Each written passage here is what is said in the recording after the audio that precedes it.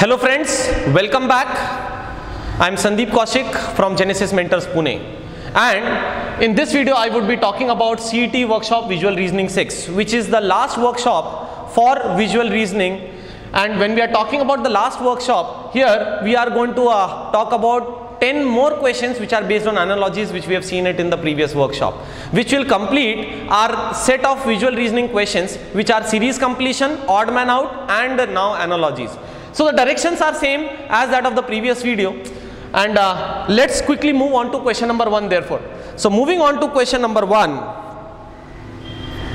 now obviously this question again a problem figure consists of uh, A and B which both of them consist of uh, three figures right? And all the three figures are same as uh, same in B as that in A right? So it means the replacement of the figures were not being done only the orientations have been changed. So this top comes to the bottom and definitely the line from here it just moves to here right? So the same way this top will come to bottom and the line will definitely move here. So definitely it would uh, if top will become bottom and the line from here would definitely move there it would become a perfect arrow. A perfect arrow is there in only two frames right? Either frame number 2 or frame number 4 now in frame number 2 and frame number 4 obviously either of the figures is definitely uh, either of the figures is definitely going to be sufficient. So I don't need to look at both. So looking at from bottom or looking at uh, definitely uh, this middle one any of them right? This would definitely go to the top and its mirror image will be taken. So this would go to the top and its mirror image would be taken. With arrow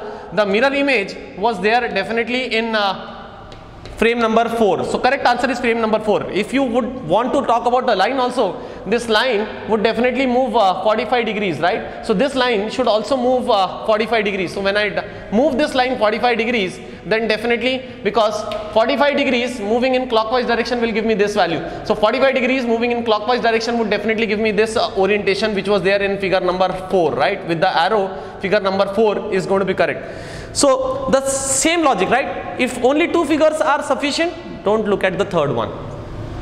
Now moving on to the second problem. Now in the second problem, we see first of all the triangle is inverted, right? So here this bucket would also be inverted. So bucket being inverted, right? So bucket being inverted, X barring one, the all the other cases the bucket is being inverted. It means the orientation of this triangle would definitely be similar. It means the lines were from from all these lines which are vertically they would become horizontally. So here also the lines vertically should definitely become horizontally and the uh, water image inverted image of this bucket is being taken. It means my correct answer is going to be frame number one.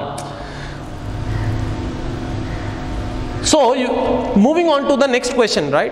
we have uh, seen two questions now the third question talks about first of all there is a quadrilateral and this quadrilateral is inscribed in a pentagon now. So this triangle should definitely be inscribed in a square in the next figure now. So triangle inscribed in a triangle uh, or a triangle is outer figure? No. Triangle inscribed in a pentagon? No. Triangle should be inscribed in a square. So triangle inscribed in a square either frame number 3 or frame number 5 has to be my correct answer right? Now among these two frames which frame is my correct answer will, dep will depend upon the orientation of uh, this uh, triangle right so I see that uh, this figure first of all has been rotated uh, 90 degree and then uh, 45 degrees in anti-clockwise direction. So this also would be rotated first 90 degree and then 45 degrees in anti-clockwise direction and hence my correct answer is going to be frame number 3 and not frame number 5. So definitely this orientation see if there are only two objects the orientation of both combination of both of them would decide my correct answer. So quickly just narrow down to your choices and uh, then among the two choices the second figure should be able to help you out to get the correct answer figure right. Moving on to the fourth problem. Now coming on to the fourth problem. This fourth problem talks about first of all a mirror image is being taken but there is a catch as well. After taking the mirror image the arrow pointing uh, outwards will now point inwards. So the same way, first of all, a mirror image of this would be taken, a mirror image would uh, of this would be taken, and then this semicircle would also be inverted, right? So when it was semicircle was open outside, it would definitely be now open inside. So it would definitely be open inside. It means, and the exact mirror image would be taken. Correct answer out of these two would definitely come out to be figure number two. So figure number 2 when replaced by this question mark in D would definitely have the same step, the same relation from C to D as that from A to B. Now moving on to the problem number uh, 5. the first thing that I observed in problem number 5 is that uh, these two arrows, two arrows in same direction, one of the arrow is being uh, shifted from uh, left hand side to right hand side. So it becomes uh, 2 2 becomes 1 3. So here 2 and 3 should become 1 and 4. 1 and 4. 1 and 4. Yes. 1 and 4. Yes. 1 and 4. Yes. So out of these three I need to choose which one is the correct one right. Now I see that the shaded part is being inverted to unshaded and unshaded becomes a shaded part. So here also the shaded part should become unshaded part and the unshaded part should definitely become the shaded parts, right? Which happens uh, in either of these two. Now here also uh, same thing happens the shaded becomes unshaded and the uh, unshaded becomes shaded. So here also uh, definitely these two would now be shaded and the first and the third would be unshaded. First and third would be unshaded and uh, definitely uh, the arrows also 1 and 4 and uh, this also becomes unshaded these two shaded. It means my correct answer is going to be again uh, frame number 2 so frame number 2 when uh, being replaced in question mark d definitely would follow the same relation from a to b then from c to d. So uh, these five questions were similar to that we have talked about right? So the more you practice the better you are going to be at it.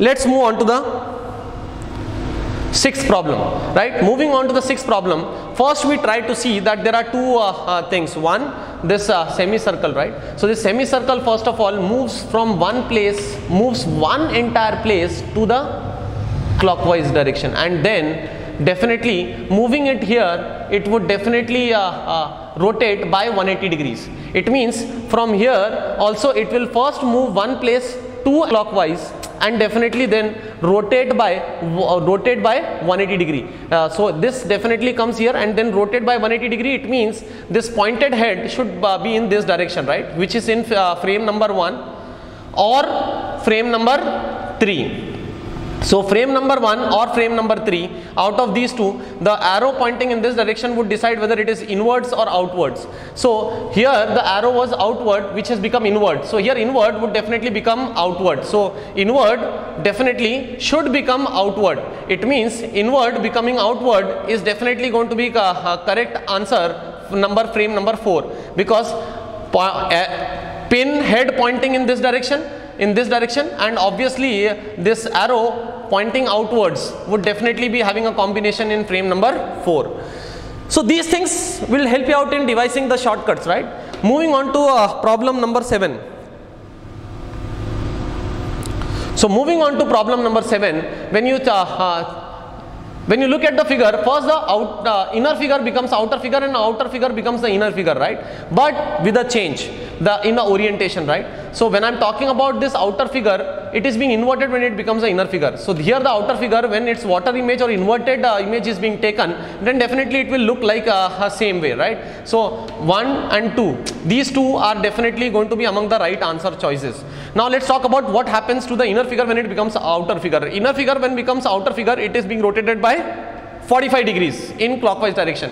Or anti-clockwise one is the same thing right? So this uh, inner figure also is being rotated in because understand when we are talking about uh, uh, inner figures become outer figure and rotated by uh, definitely 45 degrees uh, 45 degrees rotation would definitely uh, make this being pointed in this direction right? So definitely my correct answer is going to be a 45 degree rotated version and not this version right? This is a 90 degree rotation. This is 45 degree rotation now it also clears that it was being 45 rotated clockwise and not anti-clockwise because A here either I rotate 45 degree clockwise or I rotate anti-clockwise 45 degrees. Both work both should be same right. But here the second answer will not be there. Only 45 degree orientation was there in this option which makes it clear that this was a 45 degrees clockwise rotation rather than anti-clockwise rotation. So he will not give you any confusion right. Both the answers uh, there cannot be two answers which are correct if the question is uh, right. Moving on to problem number 8. Now this problem number 8, first thing that we talk about is that arrow has been rotated by 180 degrees, right? So this arrow would also be rotated by 180 degrees and definitely would point up. Now arrow pointing up if they, it is there in only frame number 4 then I don't need to look at any other answer uh, frame right? Obviously my correct answer is going to be frame number 4 but if you try to see the logic for the other ones also definitely it would uh, satisfy. A each and everything is being rotated right? So when they are going to be rotated uh, or they are going to be first mirror image and water image both are being taken then definitely you will get these answers right? So you just need to first talk about the rotation right? And the rotation of this arrow from bottom to top will definitely uh, give me my correct answer. So i don't need to look at for other clues as well. Moving on to the ninth problem. In the ninth problem again first thing that we saw is that uh, this figure its water image is being taken right? So here also the water image of this figure would be taken and water image of this figure would definitely talk about this line to point up this line to point up. Yes right? So this this line to point up. And definitely when i'm talking about the water image it would point in this direction. So it means my correct answer should be frame number 2 so if frame number 2 is being replaced in uh, place of d I would definitely get uh, my correct answer because this water image is being taken. Now if you talk about here, this arrow changes its position and from outward it becomes inward. So here from inward it should definitely become outward.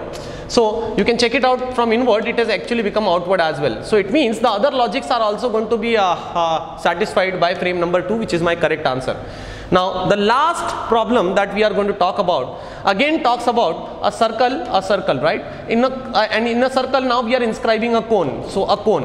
But the base of this cone is nothing but a, a arc which is parallel to this uh, side of the circle, right? So here also, first of all, a cone is to be inscribed in it, right? A cone is inscribed in it, cone is inscribed in it, but the semicircle or the arc of that cone is going to be parallel with that of or parallel to is in line with the uh, semicircle or the arc of this uh, semi uh, oval, right? Like the circle there. So here again correct answer is going to be uh, frame number 1. So Friends, as you have seen that when we have uh, talked about visual reasoning, it's all about practice, right? And I have given you lot of shortcuts, lot of shortcuts. Quickly summarize those shortcuts in terms of uh, mirror image, water image, rotation clockwise, anti-clockwise, objects being replaced by new objects, right? So all the combinations, but always try to devise certain shortcuts, right?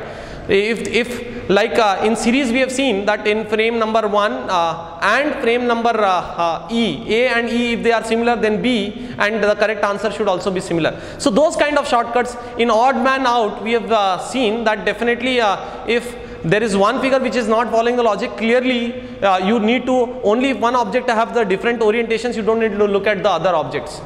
So in a sense that keep on practicing this, these 25 marks are very very critical for you in uh, MHCET. Plus this uh, visual reasoning also also going to be help uh, helpful in other uh, competitive exams like uh, maybe bank PO and other exams which you would be uh, facing out. So thank you very much for watching these videos. Uh, we will definitely be coming with lot more videos in future. So just subscribe to our channel and uh, keep yourself updated uh, with uh, what is happening at Genesis Mentors in terms of workshops. Thank you very much.